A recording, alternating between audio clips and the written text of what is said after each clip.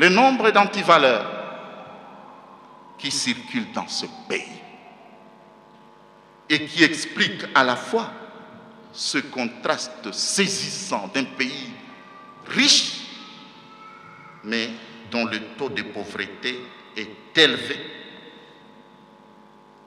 la corruption qui rampe, la fraude et la tricherie qui cohabitent. Pensez pas seulement à la fraude électorale. Hein. La fraude, la tricherie, c'est partout. Vous les parents, est-ce que vous acceptez que vos enfants puissent reprendre l'école, une classe?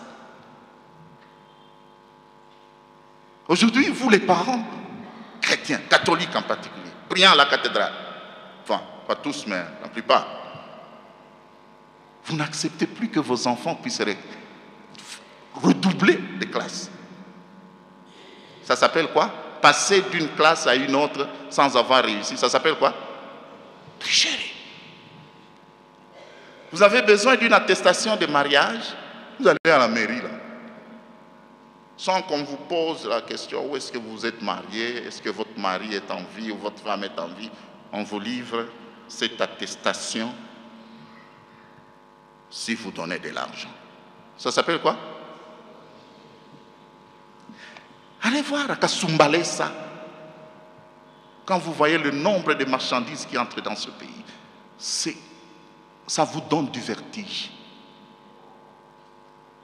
Vous pensez que tout cet argent va dans le, le trésor public? Mon œil.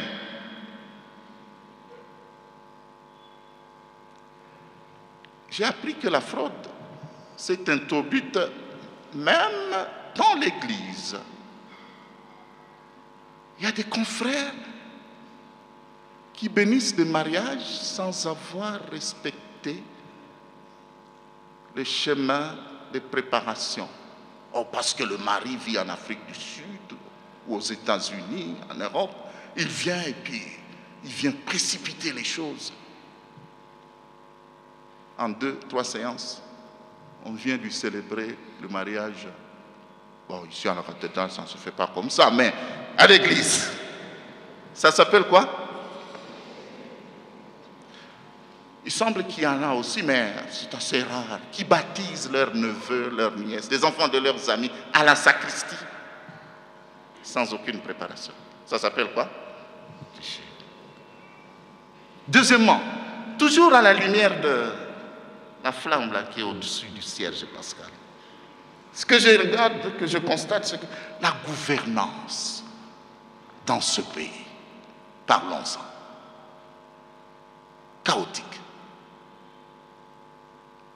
la violence quasi permanente.